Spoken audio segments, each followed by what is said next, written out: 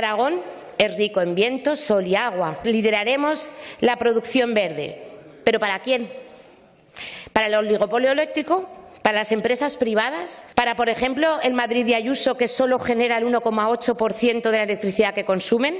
Tenemos que ser el polígono industrial de otros, pero que el beneficio económico, además, se lo lleven aquellas empresas que abusan de todos nosotros. Es importante que no sigamos el modelo de Azcón, que no consiste en ser muchos amigos que una empresa privada tiene la instalación y consumimos de eso, sino que tengamos la propiedad de lo que se genera dentro de esa comunidad. Francia, Italia, Suecia, Países Bajos, Suiza o Alemania ya tienen esas experiencias desde hace años. Aquí la regalaron al oligopolio el Partido Popular. Aquí podemos recuperarla en Aragón, por ejemplo, con los compañeros de Baleares que nos están dando ya cifras de amortización de esa empresa pública que ya está siendo eficaz en el abarateramiento real, teniendo la propiedad de la energía. Esto es el futuro de Aragón, la energía limpia y pública, porque es un derecho fundamental.